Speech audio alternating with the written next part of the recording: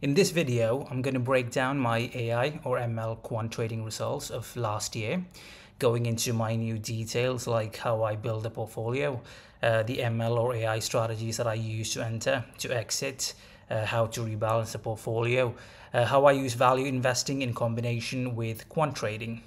Uh, I will share the results, the challenges that I faced, uh, the discussion of trades, brokerage accounts, even tax issues.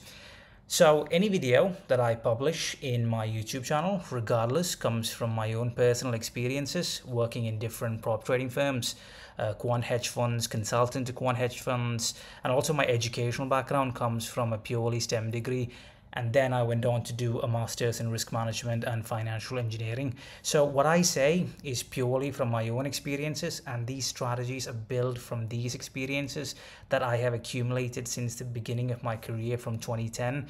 So like 15 odd years or so now. But that does not mean anything. Experiences and strategies are always a work in progress. There are many traders or investors out there who have beaten me this year. So don't take any results uh, from me as something special. Always take any opinions, including mine, with a pinch of salt.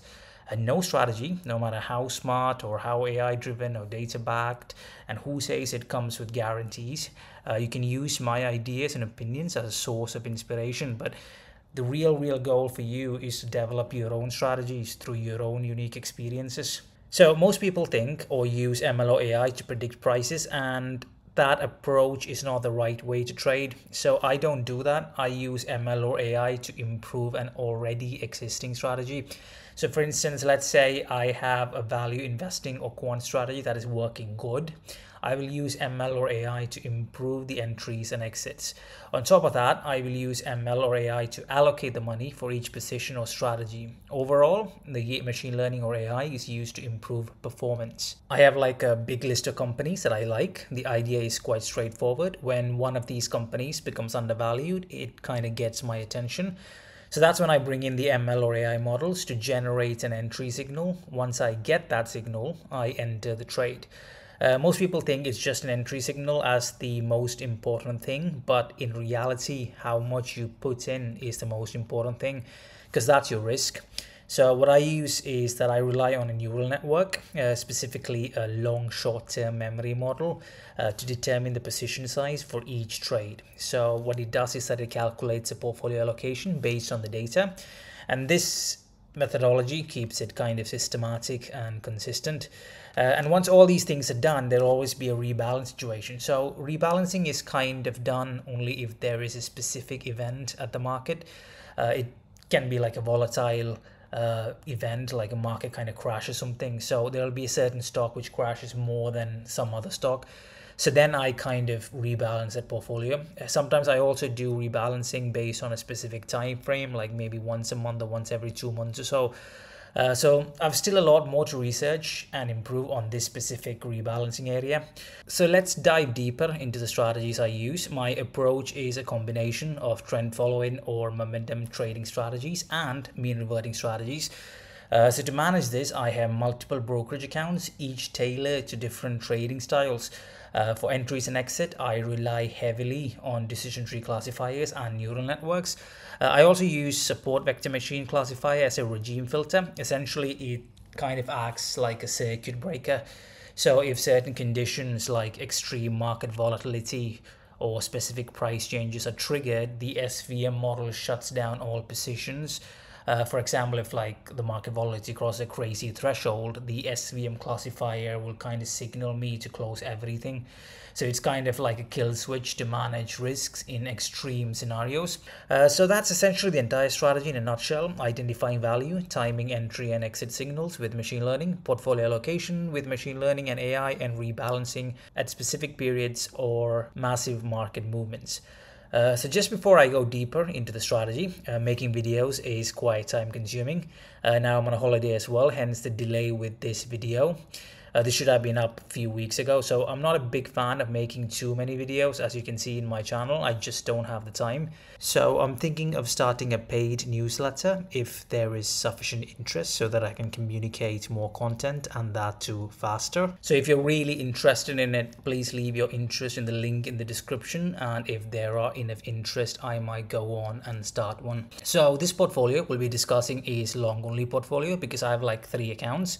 I've got like two personal accounts and one company account. So the company account, I won't be giving away information because of the cybersecurity reasons and the fund size is quite large. So I don't want to risk anything by putting too much information out there. Uh, company account is quite advantages from a tax perspective, which I'll discuss in a bit. So uh, one of my personal brokerage account is basically where I trade aggressively, and that's my interactive brokers account, which is US based. Uh, the other brokerage account is with a local bank account. So I live in Dubai for tax reasons. Uh, so basically, the whole advantage of having a company trading account, regardless of where you stay, is that you can have expenses on the company account and then you just have to pay taxes outside of that. And also in Dubai or any other tax haven, there is no income tax. So you tend to save quite a lot over the long term. Now, for company account, regardless, dividends are taxed from the source when the company pays you dividends. So you have no way of escaping that one, regardless of where you stay. Um, so I'm thinking of doing a complete video on taxes and how traders can save money by moving to different locations and creating company accounts and things around those lines. So if you're quite interested in that, leave a comment. And if there is sufficient interest, I will make a video on that one. Um, coming back, so the second brokerage account is with a local bank in Dubai. So that one is quite convenient to me.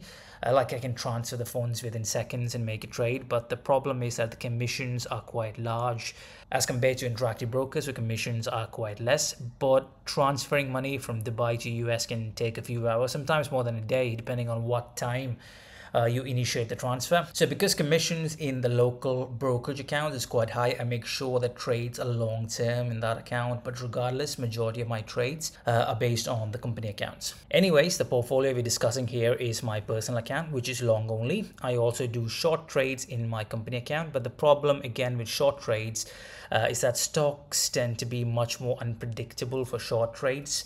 Uh, like you have like short squeeze and things like that. So what I do is that I only perform short trades in S&P 500 index, specifically uh, mean reverting strategies.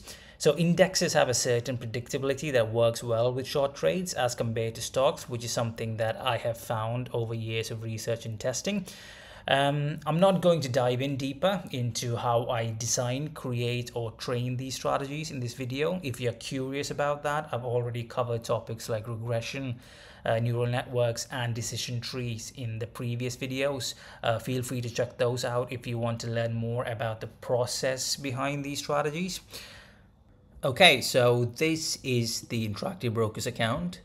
Uh, portfolio performance. So I'm going to blur some of the things out just purely from for security reasons, you know, just to be on the safe side.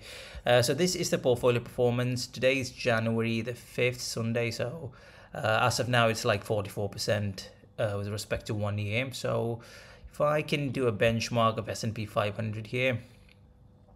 So there are two accounts that I uh, trade primarily, my quantitative trading strategy. So this one account here, and there's another account as well, just like a local uh, broker. So I'll show both of them.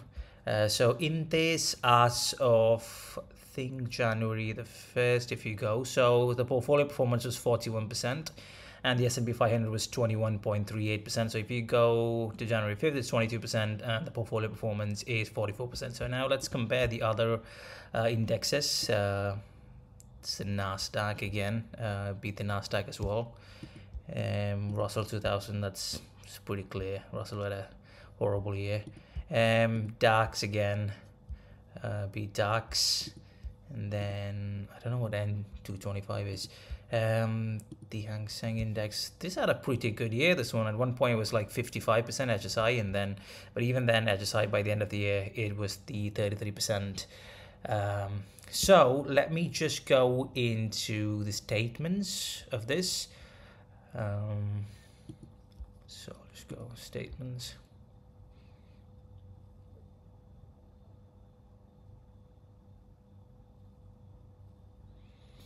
And let's do the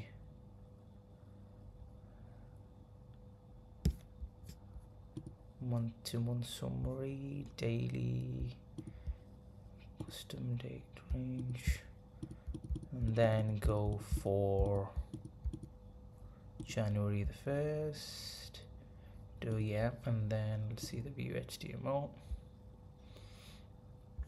okay so uh, positions and mark to market loss so these are some of the trades that I have done. So some of them are still uh, the position is still open. Some of them the position has been closed. So you can see uh, a plethora of trades here. So Apple ASML uh, Bel Fuse so Bel Fuse scan I've done in two places. So I've done it in this account and then the other account which I'll show in a bit. I've also done Tesla in the other account as well. So uh, Bel Fuse kind of here it's a loss but in the other side it's like quite a bit of a profit because sometimes I uh, allocate the money different sides uh, depending on how much positions are there in each account just to be on the safe side because of these brokers and everything you know you can't trust them all the time. So uh, there's a plethora of trades as from Meta, Green Brick Partners, uh, even GameStop, which actually was a, a bit of a loss um, Uber, U-Haul, some of them are on a trade. So if you see the current, uh, so that column will tell if you're on a trade. And you can see the 0.5 and 0.7. So these are uh, basically done because the quantitative platform tells me,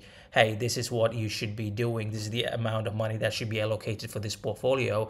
Uh, so for that, I use neural networks long short-term memory. So they will actually tell me that the allocation of the portfolio so that you get the best CAGR to drawdown ratio.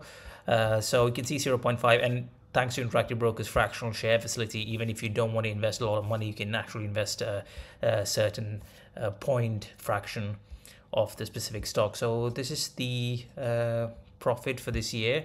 Uh, I also did one option trade that was pretty recent actually, and that was a leap trade on Dino, and I made like I think I invested like almost one thousand dollars uh, and made like fifty four dollars on this. That's like five percent, but you might think five percent is uh, not significant, but five percent. I think it did in like three days or something. Uh, that specific trade, but in reality, it's if you're looking from a CAGR perspective, uh, that five percent on one trade is like zero five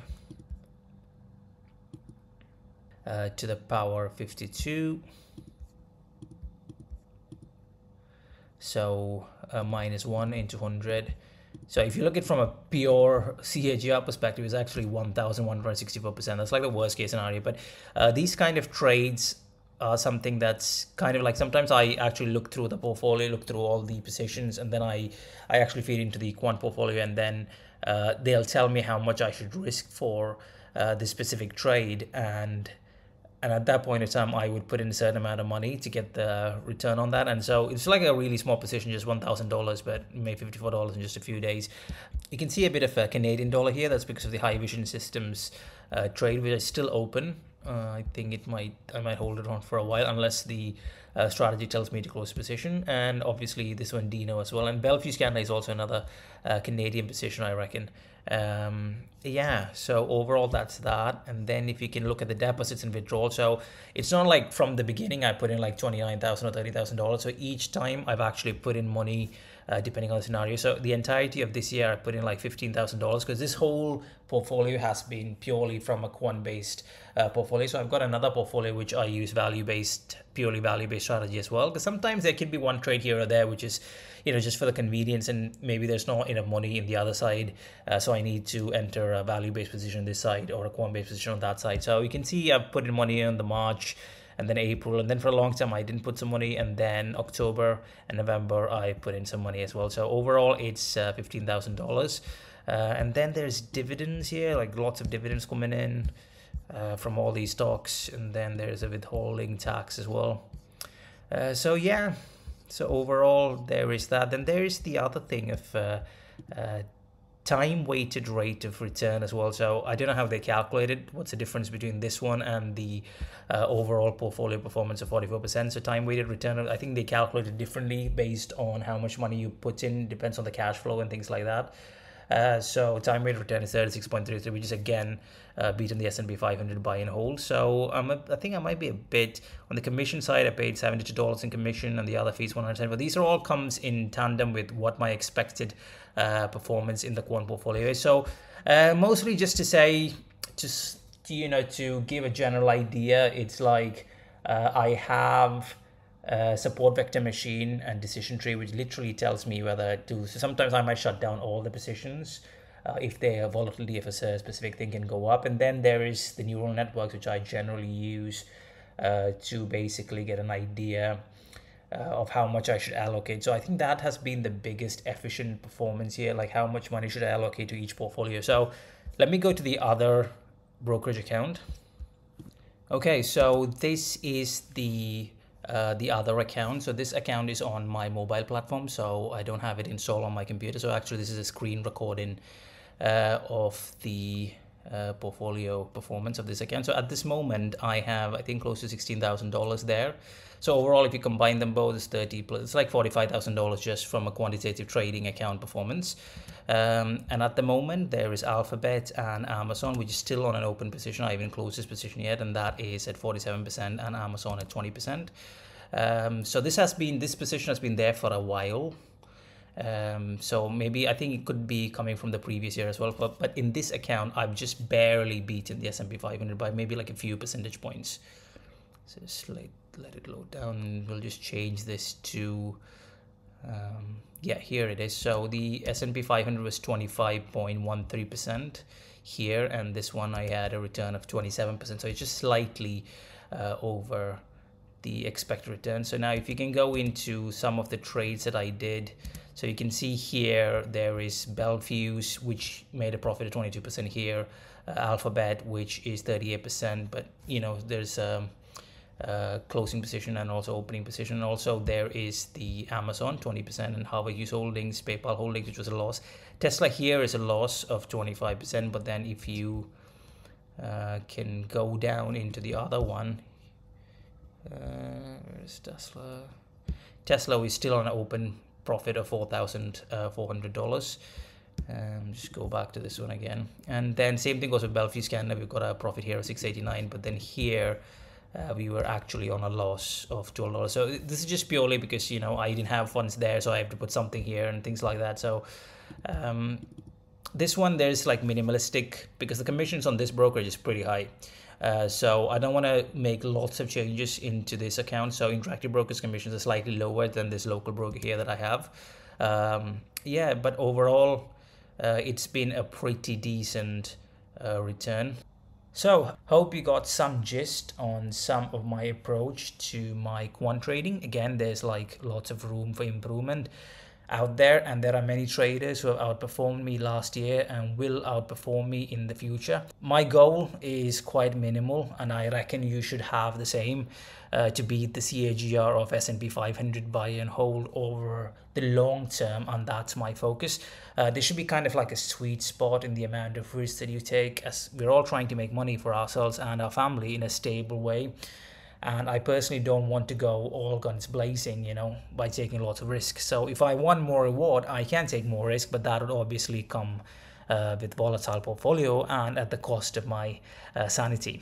If you have any questions to get a deeper understanding or some other content you want to create, uh, put in the comment section and I will be happy to answer. Have a great day. Bye bye.